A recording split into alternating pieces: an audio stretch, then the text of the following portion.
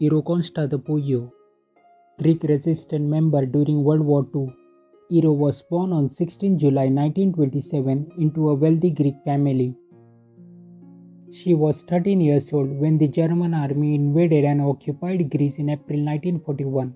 Despite her young age, she loved her country and became a member of the resistance movement.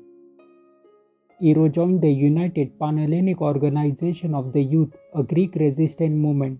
She supplied information and monitored German troop movements. In July 1944, she was arrested by the Germans. Her father managed to bribe the local authorities and she was released. But she continued the activities of the resistance movement. In 1944, Iro was involved in successful resistance operation to blow up a train that was transporting ammunition double agent working with the Greek resistance, revealed her name to the German occupational forces. On 31 July 1944, Iro was arrested on her way home from high school. She was tortured for three weeks by the Nazis, but she refused to give names of her resistance members. She was able to insult her torturer in their own language. She was sent to Haidari concentration camp outside of the. She was held with many other resistance members including resistance leader Lela Karagianni.